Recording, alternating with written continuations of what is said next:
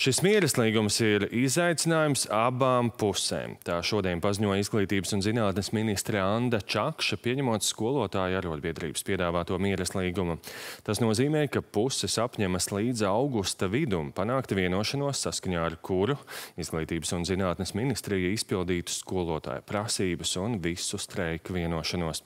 Temata attīstībai seko Vitāna Strate mums ir svētkos, lai arī kāds taupmiekļi, jā, smadrīgs veicieni, jā, vasarīgi. Pēc arotbiedrības pieprasījuma ministrē demisionēt un Andas Čakšas atteikuma atstāt savu amatu, arotbiedrība ministrei piedāvā mierizlīgumu. Kūku, ziedus un grāmatu par profesionālo izdegšanu arotbiedrība ministrei šodien pasniedza dzimšanas dienā. Lai ir laiks saviem tuvajiem mīļajiem, kā arī darbam un sociālajiem partneriem. Pēc tikšanās abas puses apstiprināja, ka ministrijas līgumam piekrīt un attiecībā uz nākamo mācību gadu visas streika prasības ir izpildītas. Miers baro karš posta.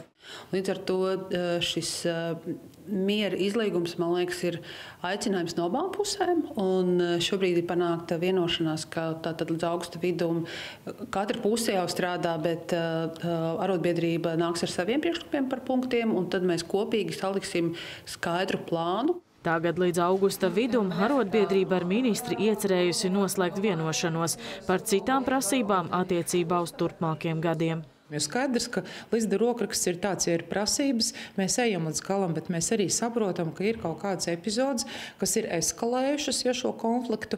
Tā kā nu, nozares darbinieki, lai ir droši, ka šie jautājumi nepazūd no dienas kārtības, bet mēs uzliksim precīzākus laika rāmjus, kad to atrisināt, nu, redzot, ja, ka ir bijušas problēmas neizslēdzam arī savstarpējā komunikācijā.